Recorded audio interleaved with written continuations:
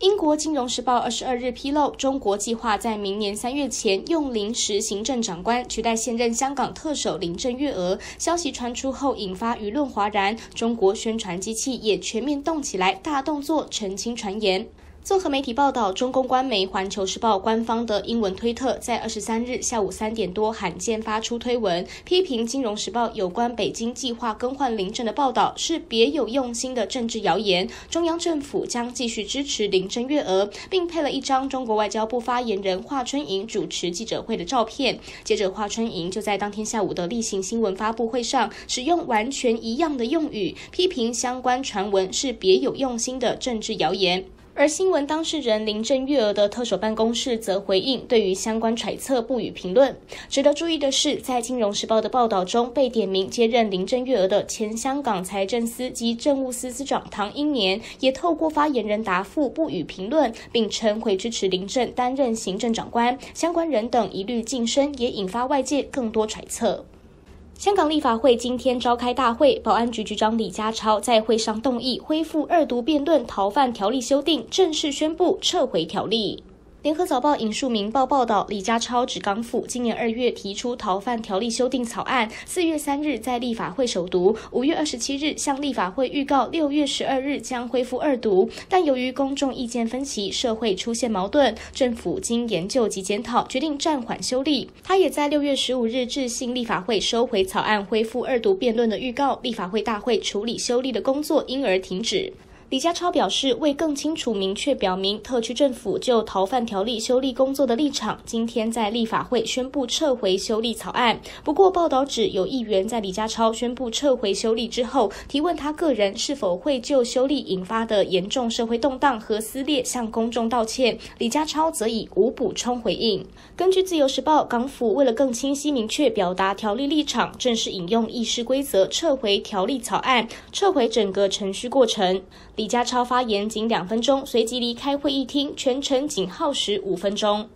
日本首相安倍晋三十月二十三日上午与未出席天皇即位礼正殿之仪而访日的中国国家副主席王岐山在东京原赤坂的迎宾馆举行会谈，双方被认为就习近平预定明年春季作为国宾访日等中日的合作关系进行了交流。综合日媒与其他中文媒体的报道，安倍与王岐山一致同意要致力促成中国国家主席习近平明春访日。此外，安倍也向王岐山表示，有消息传出中。中方拘留一名现年四十多岁的北海道大学男性教授，并指称他是间谍，希望中国方面查明。据日媒报道，该名教授曾任职于外务省和防卫省防卫研究所，可能被怀疑从事间谍活动。港媒报道指出，中日关系近来较为热络，安倍与王岐山都认为中日两国进入发展新时代，双方应共同致力于建构契合新时代要求的中日关系。有学者认为，安倍对于中日关系新阶段的表态。与日本外交并不矛盾。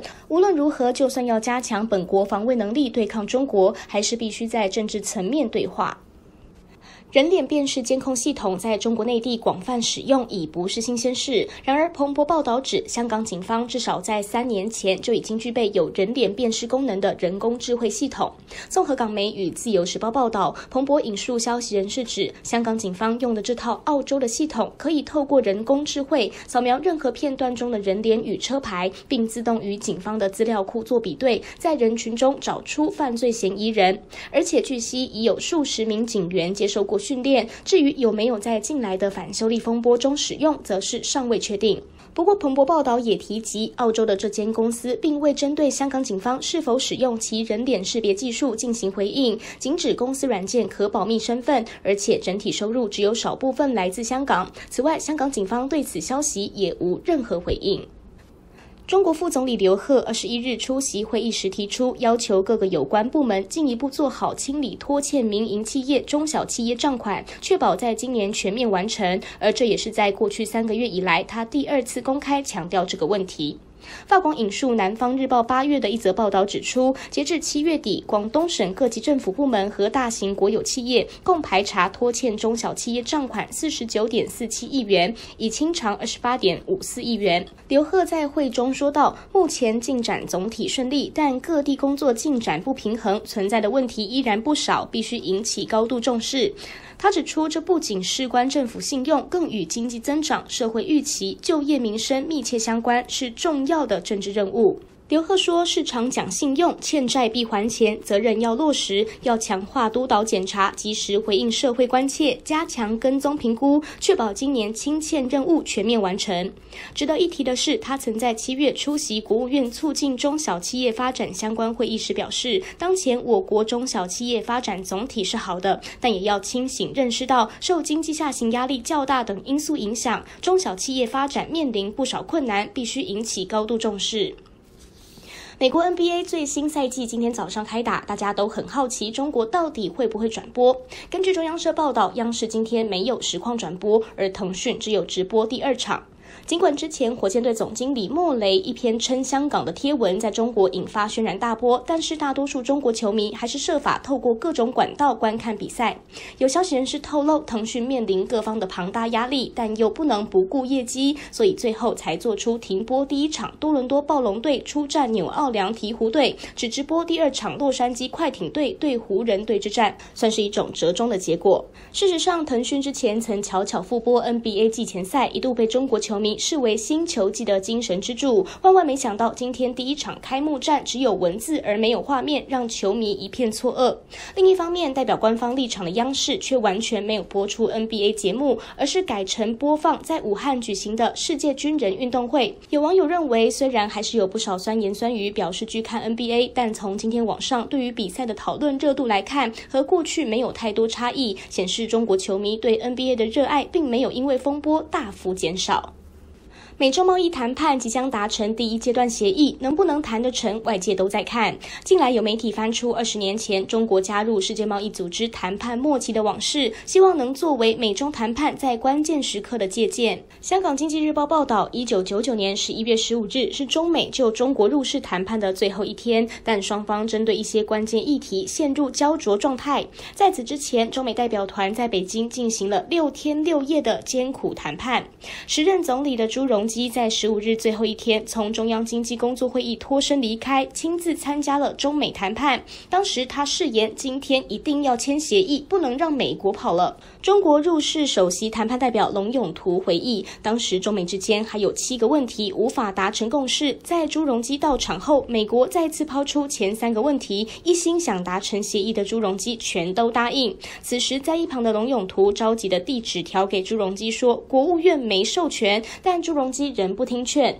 等到美方抛出第四个问题时，朱镕基便说：“后面四个问题你们让步吧，如果你们让步，我们就签字。”五分钟后，美方便同意了中。中方的意见。当天下午，中美签署了关于中国加入 WTO 的双边市场准入协议。报道引述龙永图的话表示，如果朱镕基没有亲自参与谈判，中美可能会推迟五到十年才达成协议。文章认为，朱镕基当机立断，有承担在今日陷入僵持的中美角力，深具启示。自由亚洲电台报道，北京市昌平区崔村镇香塘村上千名业主十八日围堵镇政府，要求解释他们合法购买的房屋被政府以违章建设论处，并将他们驱离这片土地。这些业主被责令近期搬迁，同时政府拒绝做出相应补偿。有抗议的受访者表示，他们的住处是二十年前一九九九年经过各级单位盖章的协议，但政府却只给三天，要住户自行拆迁。另有住户表示，这些房屋都是经过国土。局盖章核定，政府却想以后法来管前事，基本上没有道理。报道指，根据崔村镇政府十九日发出的通告，该村十个区建筑面积达三万多平方米，经北京市规划和自然资源委员会认定，未依法取得乡村建设规划许可证进行建设，违反了北京市城乡规划条例第二十九条的规定，属于违章建设。据业主委员会透露，此次拆迁由北京市市委书记蔡奇亲自挂帅，昌平只是试点，当局要赶在明年一月一日之前完成土地储备，以便重新拍卖土地。也有业主表示，如果房屋被拆迁，每户的经济损失达五百万元人民币，合共损失将高达数十亿元。报道指，这次崔村镇的群体抗议事件引起当局震惊，为担心事态扩大，消息指出，公安已经开始在微信和网络上删除任何不利于政府的言论。也有多名带头抗议的业主遭到警告。据悉，政府打算把土地收回，重新出让给开发商建商品房。崔村镇周边多个镇都在以相同方式收回这种所谓的小产权房，同样的也都有遭到业主反抗。第七十届国际太空大会日前在美国华盛顿开幕，中国航天局罕见缺席，引发关注。官媒新华国际昨天的报道宣称，中国缺席是因为代表团的赴美签证受阻。中央社指出，这篇报道强调，中国是国际太空大会的重要参与方。去年在德国不来梅举办的时候，中国派出国家航天局局长张克俭出席，而中国航天科技集团、中国航天科工集团等公司也在大会上展示最新的技术成果。然而，今年。官方的议程表上面并没有出现预定要发表演讲的中国官员名字，展厅里也没几家中国企业。针对中方缺席的原因，报道虽然表示国际太空联合会主席台面上的说法是时间冲突，并未进一步解释，但是有现场人士透露，其实是中国代表团的美国签证未能及时通过。然而，事情的真相是否就如同中国官媒报道一般，还需要更多消息确认。最近关于南海九段线的争议越来越多，先是有中美合作动画《坏坏萌雪怪》，以及网易手游《阴阳师》在越南下架，现在又传出中国制汽车有问题，似乎成为中越南海主权的另一场对峙。苹果日报引述越南青年报的消息，有部分出口到越南的中国制汽车导航软件内，居然出现了九段线地图，遭到消费者举报。越南当局后来认定违反国家主权，要求进口车商移除软体。事实上，九段线引发的风波还不仅于此。九月初，有中国旅行社到胡志明市参加国际旅游展，打算在摊位上发放印有九段线的广告传单，结果当场被取消参展资格。此外，甚至有越南旅行社因为疏忽，不慎发放由中国伙伴提供印有九段线的旅游指南，被当局列为严重违规行为，并且罚款。这些事件再再突出了中越两国对于南海主权的绝不退让，分别以实际行动贯彻不同的。主权主张。美国高盛集团涉嫌卷入马来西亚国家投资基金一马币案，遭大马检方起诉。路透报道指，大马和高盛讨论以约二十亿至三十亿美元达成和解，然而这个金额却不到大马原本开口要求金额的一半。联合早报引述彭博报道，内容提到，马来西亚首相马哈迪希望今年能解决此事，派出亲信负责协商。马哈迪想收回被掠夺的国家资金，如果成功收回，也有助于缓解马国债务。马哈迪也想借此巩固马来西亚的财政基础。不过，该报道并没有提及总检察长是否将撤销对高盛或其十七名现任与前任高管的刑事指控。马来西亚政府称，高盛以错误陈述误导投资者，忽略与一马公司相关的债券发行的确实情况。